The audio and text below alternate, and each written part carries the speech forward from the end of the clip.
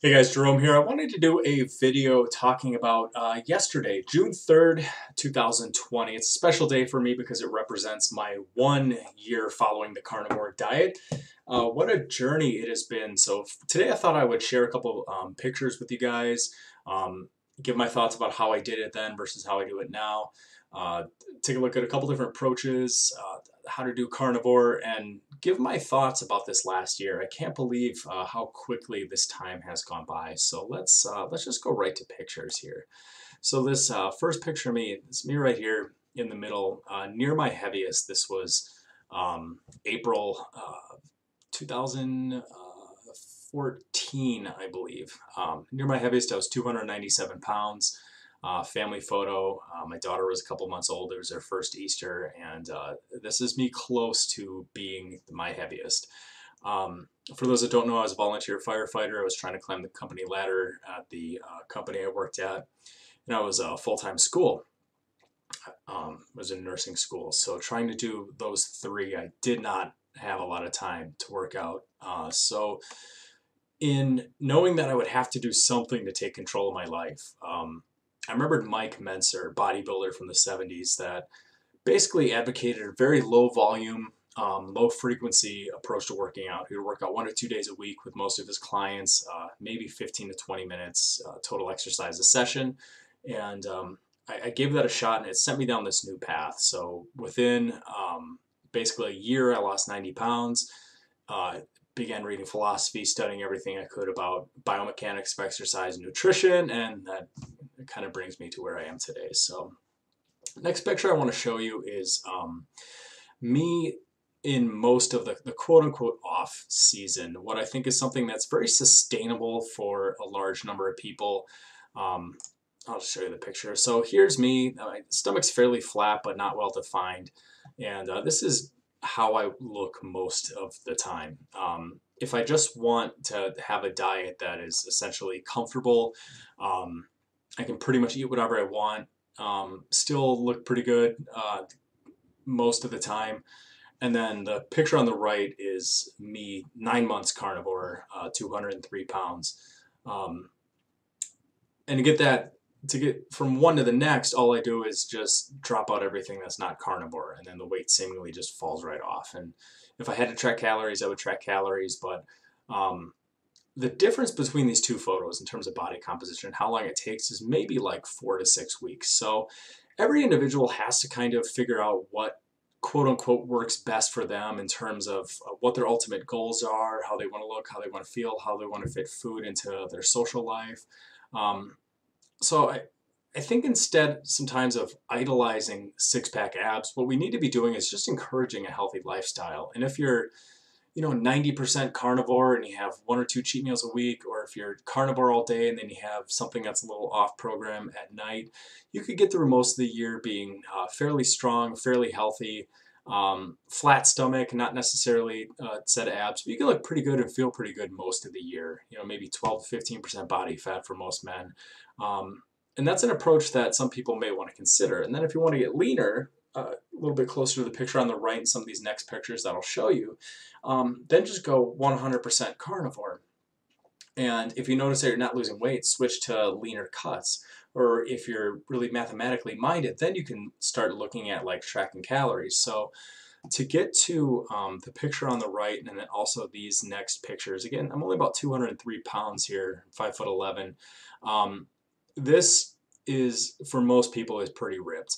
Uh, for most individuals. So if you want to get like bodybuilding lean, fitness model lean, I would have had to push it a little bit longer. That's what I'm doing right now with my uh, carnivore contest prep. Um, click on my channel underneath, go over to playlists, and you can find me breaking down my food and my exercise every single day as I uh, use carnivore diet to get bodybuilding lean, which is a, a level of leanness that is beyond what you see on your screen right now. But to just feel good, have a good amount of energy, be what most people would consider to be pretty ripped.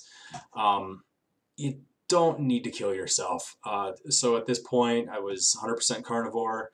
Uh, this is nine months after starting carnivore, down about 30 pounds. Actually, it goes down 33 pounds here.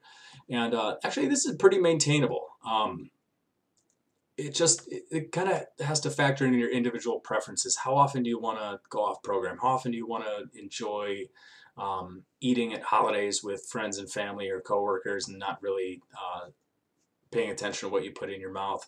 And that's an area of optionality, again, that a lot of people have to consider. So this was at nine months, and here's me, um, 205 pounds, so only two pounds heavier.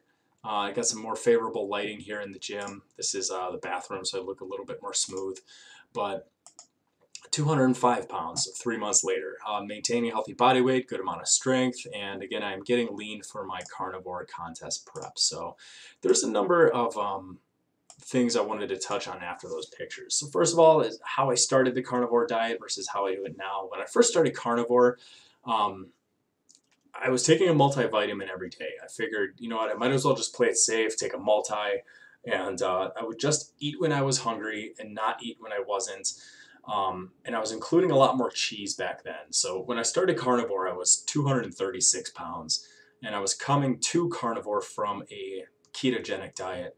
Um, so switching to carnivore, um, was taking a beef liver every single morning, was taking a multivitamin. Uh, I was eating when I was hungry. I was eating a lot of cheese, and I went from 236 to 215. Um, and 215, let me go back to the pictures here. 215 is pretty close to what you see on the left here for me.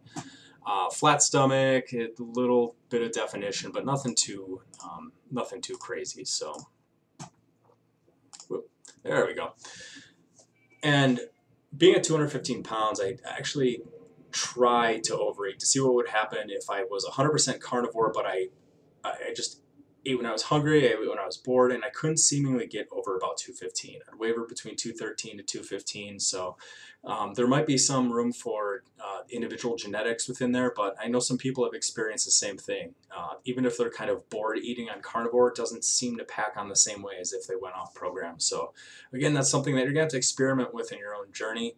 Um, and then getting leaner from that point. Um, that took me to about six months in. Then I started to tighten things up. Then I introduced intermittent fasting, um, cut back on the cheese because living here in Wisconsin, southeast Wisconsin, uh, there's a lot of cheese. Cheese is everywhere. Um, and I could sit down and eat a almost two pound bag of cheese curds and think nothing of it. Um, but wanting to get leaner than that takes a little bit more work, uh, depending on your genetics and your activity level. So, um, from about six months to nine months, that's where I got uh, as lean as you saw in some of those pictures. And then from nine months up until now, I've actually, for the most part, just been kind of taking it easy. Still been mostly carnivore up until this carnivore contest prep. Kept my weight right around 205 to 210 pounds. Um, I know a lot of people question the long-term stick-to-itiveness of carnivore. Uh, long-term success rate with vegan diets is very, very low. It's like 2%. And most diets are kind of the same way. But carnivore, um, you know, what I look forward to now is salty animal fat. I look forward to meat. That's what I crave. That's what I want. And I sleep so much better and I feel so much better and I don't have headaches and I don't have the migraines that I used to have on carnivore. Um, this is hands down the easiest diet I've ever tried in terms of uh, having to stick to it. I'm basically never hungry. Um, sometimes I eat, and if you check out my contest prep logs, you find that some of these days I'm only eating like 1,100, 1,300 calories a day. And even some of that sometimes feels like I have to push myself to eat that much.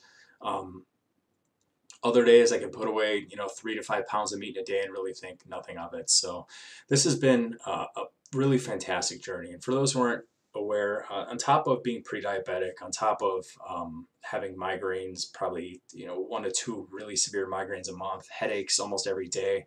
Uh, those have all stopped when I went carnivore. Um, basically, don't have headaches anymore. I haven't had a migraine uh, since I went carnivore. The only time I'll have a headache now or a migraine now is if I go off of plan and uh, I have something that's like way, way, way not healthy. Like a regular cheap meal, like if I were to go to a restaurant, just have a meal, it doesn't bother me at all. Um, but if I were to like sit down and have a decent size bag of candy, uh, yeah, that messes me up. Um, I'm sleeping better.